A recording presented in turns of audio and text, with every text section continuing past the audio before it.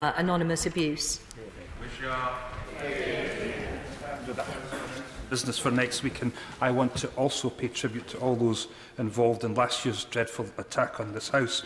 Mr. Speaker, we never forget that day, but we went home at the end of that day as this house was made safe for us. Some of our community within Parliament didn't quite make that, and it's those that we will remember today. Uh, Mr Speaker, the, the whole fallout from this Cambridge Analytica and its connections with this government is getting murkier and murkier.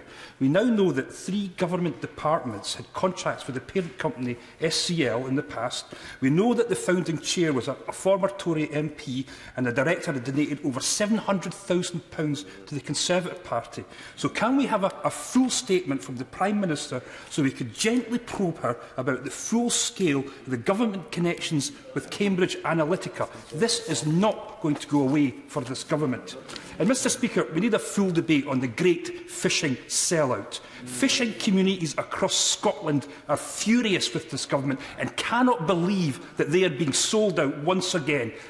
That anger was only compounded with a ridiculous stunt on the Thames yesterday when the Scottish fish chuckers threw perfectly good fish into the Thames. The Tories will never, ever be trusted on fishing again, yeah, and they will deserve everything that's coming their way from fishing communities at the next election.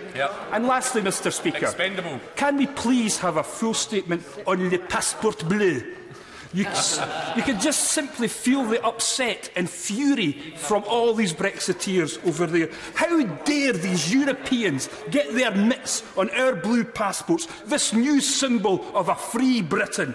Mr Speaker, forget Agincourt, forget Waterloo, forget Trafalgar. We must say no to these French passport makers. So will the Leader of the House join me in my campaign